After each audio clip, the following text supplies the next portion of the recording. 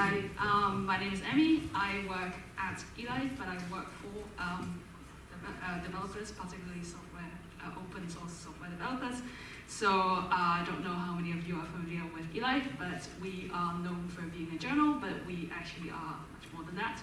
Um, we have, well, we place a lot of emphasis on community building and also in innovation. So we really try to, well, my job is to try and bring together the community of um, open source developers who are in particular working on open science projects um, and try to give them the support, whatever support that you may need um, to you know, drive forward your work.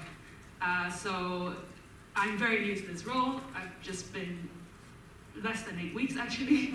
and uh, but uh, this is I, I used to be a researcher as well, so I, I'm, I'm more used to the mindset of kind of problem solving and working on research project. So, uh, but the innovation sprint is my new project. So um, I really like that uh, idea from Anna about checklists. I would love to have a checklist on how to run a tech event in a good way, an open way, an inclusive way, uh, and a stimulating way. So if you are interested in participating in this journey of trying to shape this event and run it, like I, I mean, again, I, I, I, I create this event not for myself, but you know, for the community. So please go find out. There's the link there.